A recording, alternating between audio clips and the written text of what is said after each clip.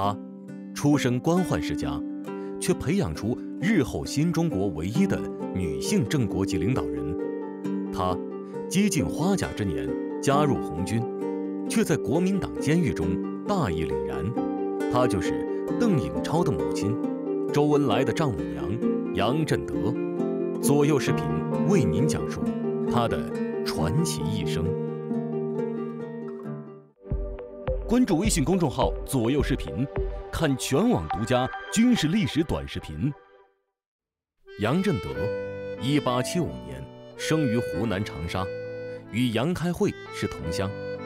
杨家在当地是官宦世家，他从小生活富足，受到了良好的教育。后来经朋友介绍，杨振德嫁给了邓廷忠。邓廷忠是河南光山县人，以武举入仕途。当时在广西南宁担任镇台，嫁给邓廷忠两年后，杨振德生下了一个女孩，这个女孩名叫邓文书，后来改名邓颖超。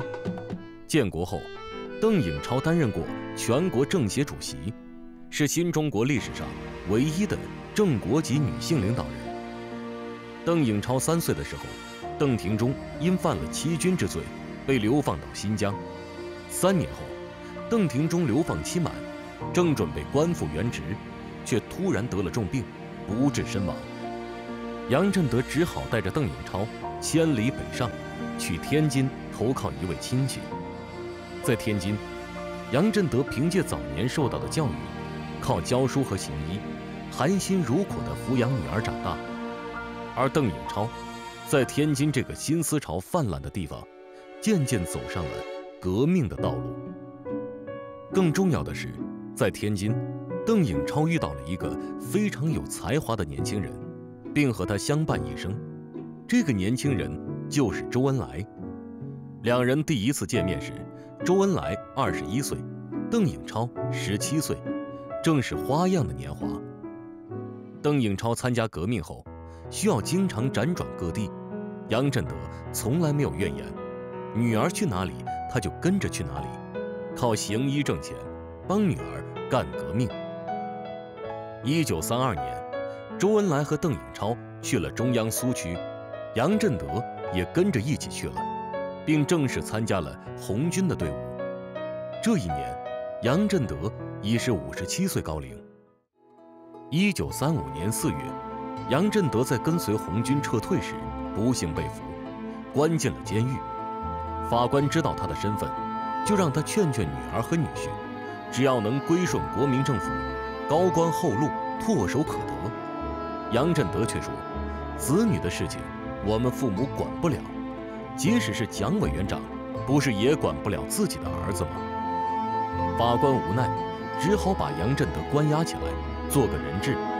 当然，以周恩来在国民党高层中的威望，杨振德在监狱里并没有受到虐待。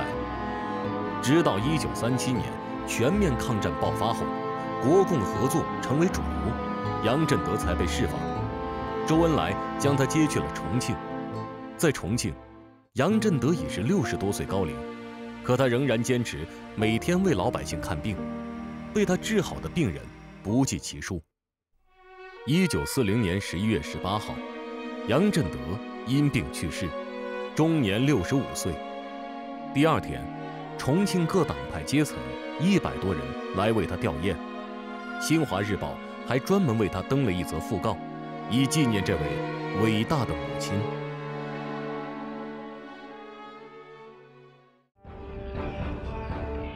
日本人在筹建伪满洲国后，拍摄了很多宣扬王道乐土的宣传片，《建国之春》就是这样一部伪纪实片。一起来看看伪满洲时期的长春是什么样子吧！